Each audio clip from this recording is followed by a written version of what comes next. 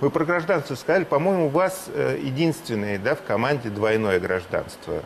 Ну, э, в Киргизии двойного гражданства как такового нет, но так как я заслуженная артистка Киргизии, не А, может понятно. быть такого, Остальные понимаете? Но это было заслужили. до того. Что же вы, блин, такой интересный вообще? А вы знаете, потому что... Это я- связано с тем, я- что я уже приехала в Москву, была уже к тому моменту лауреатом Конгресса женщин на секунду.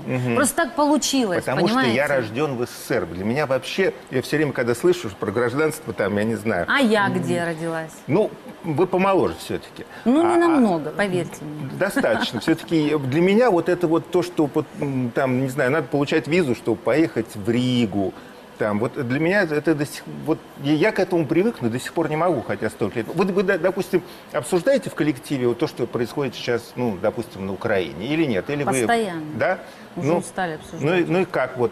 Какое резюме у вас? У вас вы, совпа- вы в этом смысле совпадаете? У вас э, мнение у всех более-менее а, одно, Ну, солидарное, мне, да? кажется, да, тем более, что у нас, ну, я бы сказал так, знаете, в кавычках, богатый опыт. Ведь у нас в стране было две таких революции, вот, и мы видели, что происходило во Вы время про этого. Кыргызстан, да, говорите? Мгм. А там же родные, там и мои родители на тот момент находились, и Машин родители, и друзья все, да, и вот Лешина мама была. И очень хочется надеяться, что в Украине тоже все будет хорошо. Тем более, что у меня, например, все родственники, все мои родственники в Украине. Не политкорректно, но без злого умысла.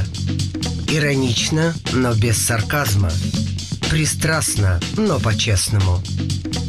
Правда 24 и Евгений Додолев. С понедельника по четверг в 19.30 на телеканале Москва 24.